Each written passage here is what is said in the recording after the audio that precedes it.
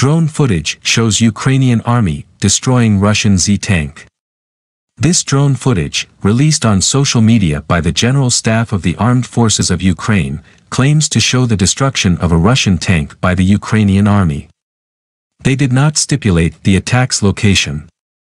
Meanwhile Russian forces have been attempting to encircle and cut off the capital, but large areas around Kiev remain under Ukrainian control, especially in the south.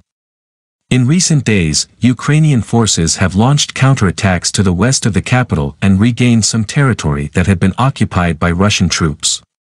The nearest Russian troops have advanced to the west of Kiev is about 25 kilometers, 15 miles, from the city center, around the suburbs of Irpin and Bucha. This means Russian artillery remains out of range of central Kiev, but shelling of the outskirts continues to cause casualties and destroy homes and infrastructure, and the city is still vulnerable to Russian warplanes.